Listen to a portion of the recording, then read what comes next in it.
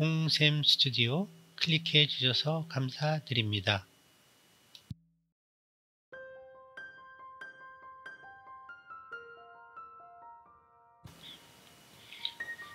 르네상스 시대의 이탈리아 사상가이자 정치 철학자 니클로 마키아벨리는 난세의 군주 리더십을 논한 군지론의 저자로도 유명합니다. 마키아벨리가 활약할 무렵 이탈리아의 혼란상은 중국의 춘추 전국 시대를 방불케 했을 정도였습니다. 당시 마키아벨리는 외교와 군사 방면에서 크게 활약했지만 스페인 침공에 의해 피렌체 공화정이 무너지고 메디치가가 집권하면서 공직에서 추방된 후에는 낙향하여 독서와 글을 쓰며 지냈습니다. 메디치 가문은 교황청 금융원 및 마카롱의 효시를 열었고 르네상스의 부흥에 기폭제가 되는 강력한 후원자였습니다. 마키아벨리는 최고의 정성을 다해 메디치 가문 수장 체살의 보르자에게 지금 말하는 취업을 위한 자기 소개서 및 어떻게 군주가 국가를 부강하게 하는가를 자신의 고민을 담은 군주론을 올렸습니다.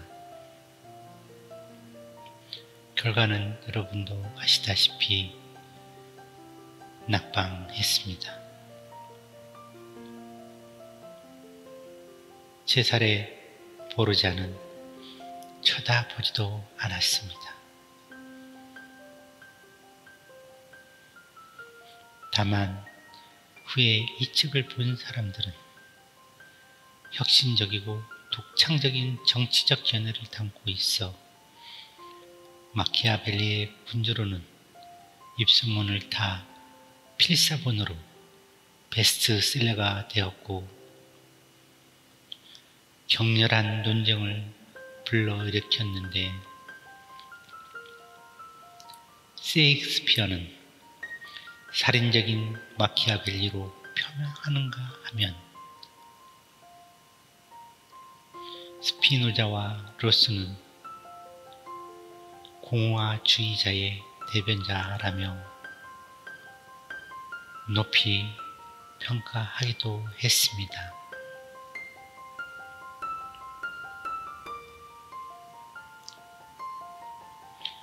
아무튼 살아 생전은 물론 사후에도 호평을 받지 못한 마키아벨리입니다.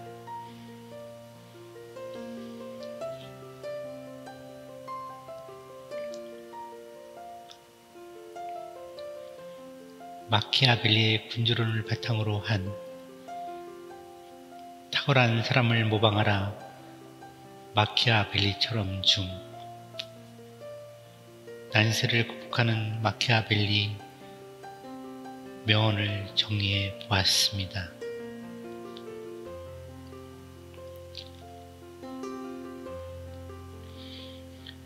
인간의 속성을 지극히 현실적인 시각에서 바라보고 쓴 글이기에 리더는 물론 여느 사람들에게도 어려울수록 삶의 자세를 다잡는데 도움이 될 것입니다.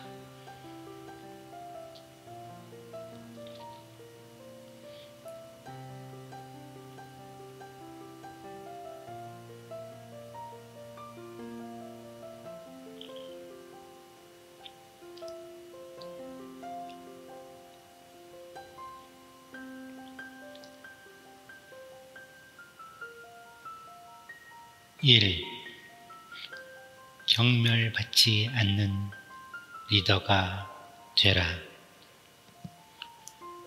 군주가 귀족과 백성의 경멸의 대상이 되는 면덕이심에 경박하며 유약하고 소심해서 우유부단한 모습을 보이기 때문입니다.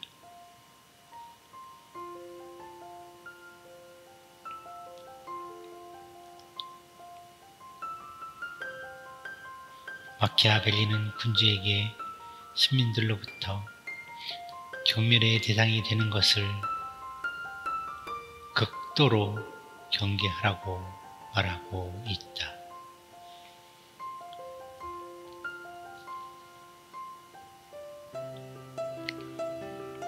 국가든 기업이든 리더가 아랏 사람들의 경멸이 아닌 존경을 받아야 한다는 사실은 변함이 없다.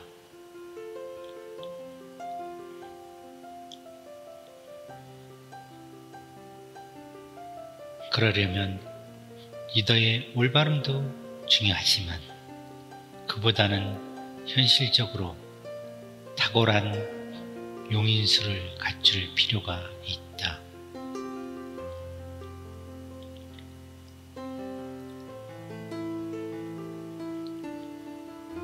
인격적인 원칙보다는 탁월한 용인술이 국가와 기업을 발전시키는데 도움이 되는 법이다.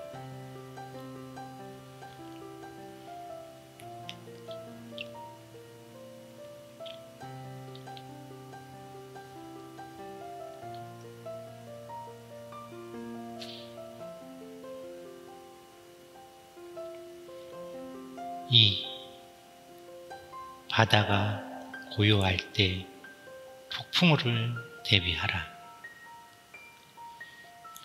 날씨가 좋을 때 앞날에 폭풍우가 몰아칠 것을 예상하지 못하는 것은 인간의 공통된 약점이다. 평화에 젖은 군주는 갑자기 폭풍우가 몰아치면 맞서 싸울 걱정은커녕 달아날 궁리만 한다.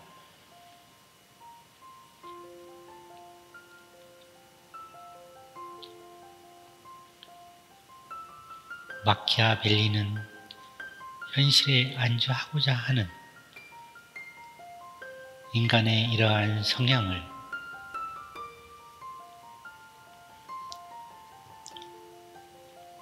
싫다 하면서 부단한 노력을 통해 시련을 극복하라고 말한다.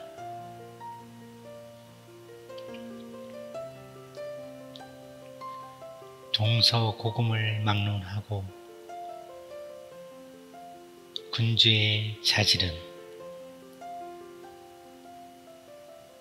나라의 흥망을 좌우하는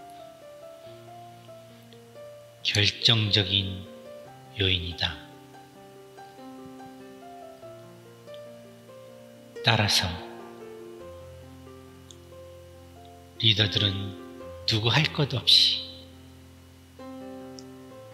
실력을 쌓고자 노력을 중단해서는 안 된다. 리더에게는 위기에 대비해야 할 의무와 책임이 있기 때문이다.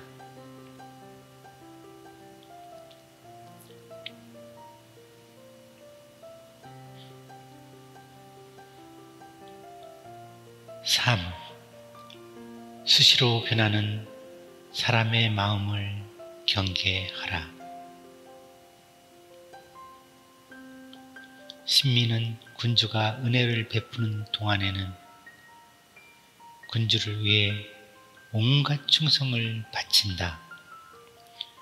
위험이 멀리 떨어져 있는 한 그들은 피와 재물은 물론 생명과 자식들까지 바칠 것처럼 행동한다. 그러나 절박한 위험이 닥쳐오면 이내 등을 돌리고 만다. 따라서 시민의 맹세만 믿고 대책을 강구하지 않은 군주는 위기가 닥치면 바로 패망하고 만다. 동서고금을 막론하고 평안할 때를 기준으로 사람을 믿어서는 안 된다. 문제는 매사가 험악해지는 난세다.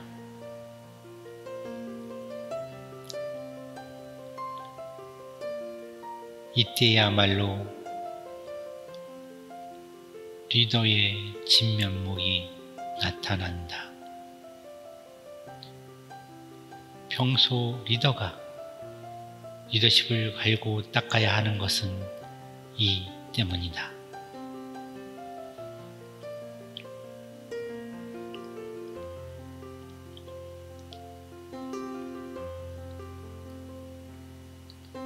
사 지나간 성공은 있고 항상 새로운 성공을 훈련하라. 위기가 닥쳤을 때 임기응변을 할 줄 아는 군주만이 살아남을 수 있다. 하지만 그런 군주는 매우 드물다. 타고난 성품을 바꾸기 어렵기 때문이다.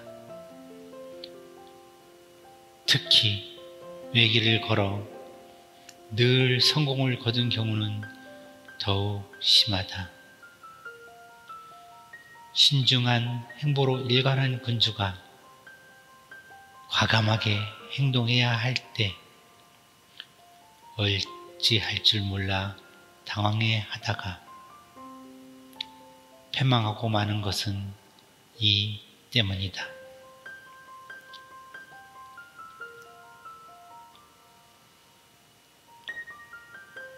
마키아벨리는 시류는 늘 변하게 마련이며 민심은 아침 저녁으로 변하기 때문에 기존의 성공 방식을 고수하지 말고 새로운 시대적 조건에 맞는 새로운 성공을 재진치하는 것이 현명한 리더의 임무이자 역할이라고 말한다.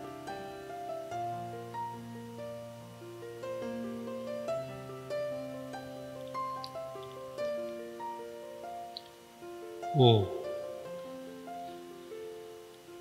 아랫사람이 충성을 확보하려면 먼저 대우하라.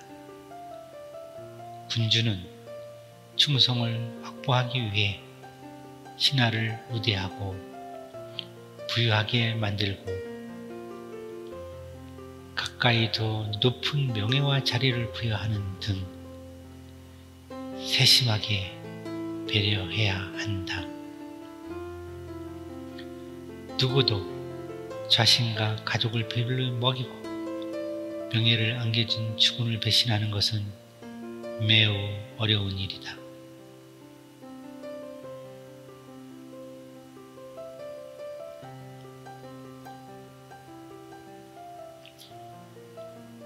현대의 활발한 기업들이 자신들의 직원들의 복지를 강화하고 무대하며 연봉을 많이 주려고 애쓰는 것도 이와 일맥상통하는 일이다. 회사의 장래와 이익을 위해 수족처럼 움직여야 할 직원들의 사기를 증진시키지 않고는 그 목표를 달성하기가 어렵기 때문이다. 보이지 않는 직원의 명예와 신망을 높이는 일도 직원의 사기를 높이고 회사에 충성하게 하는데 도움이 된다.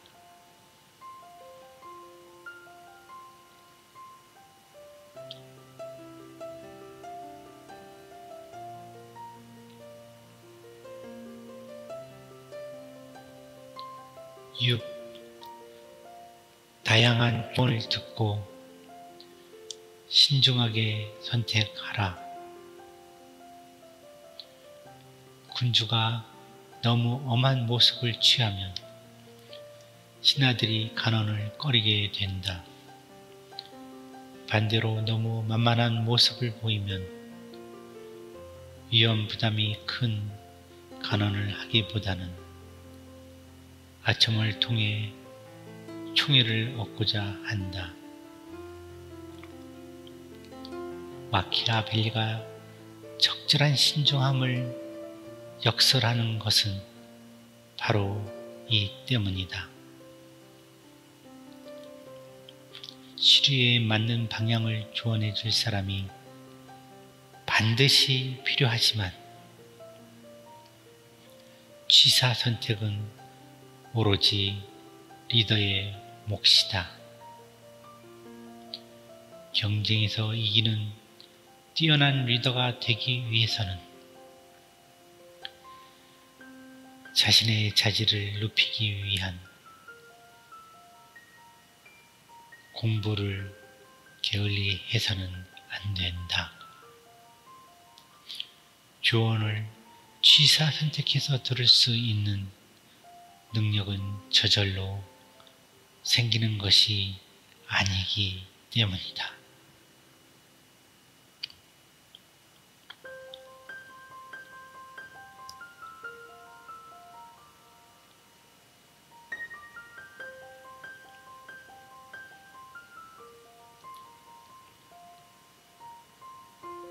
마키아벨리 명언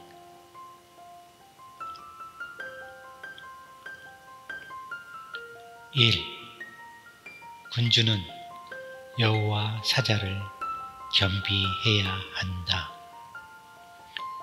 사자는 스스로 함정을 막을 수 없고 여우는 이리를 막을 수 없다.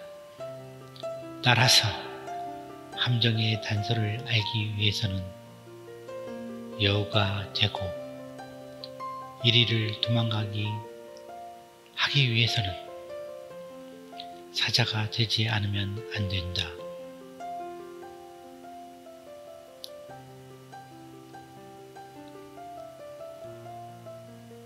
이 시간은 이익과 해악을 가리지 않고 모든 것을 한꺼번에 몰고 온다. 3. 인간은 대체로 내용보다는 외모를 통해 사람을 평가한다. 누구나 다 눈을 가지고 있지만 통찰력을 가진 사람은 드물다.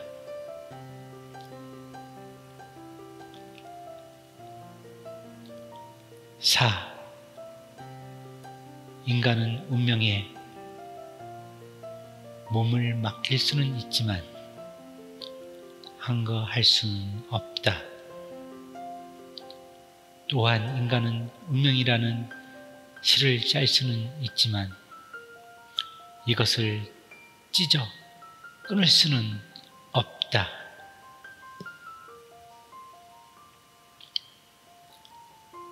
5.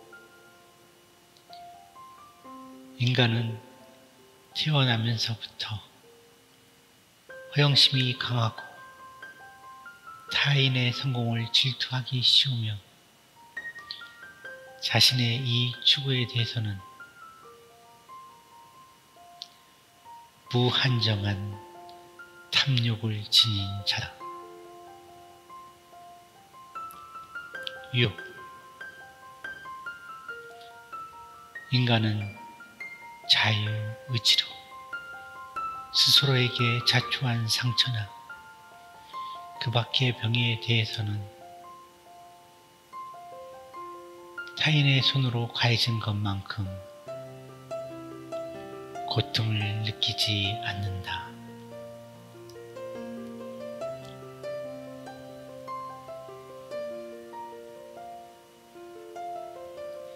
7. 직함이 인간을 높이는 것이 아니라 인간이 직함을 빛나게 한다. 8. 세상에서 가장 무서운 것은 가난도 걱정도 병도 아니다. 그것은 생에 대한 권태다. 9.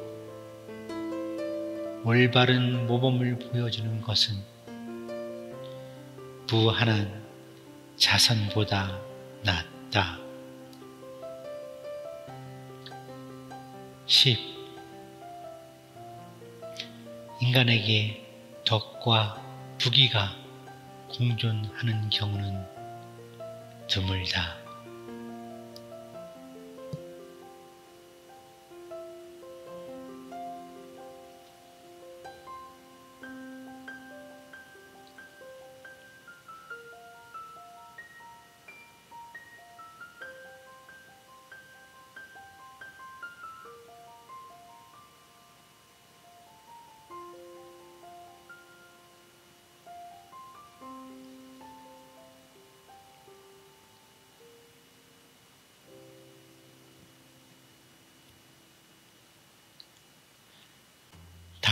부분은 여러분이 직접 마음으로 읽어보는 시간입니다.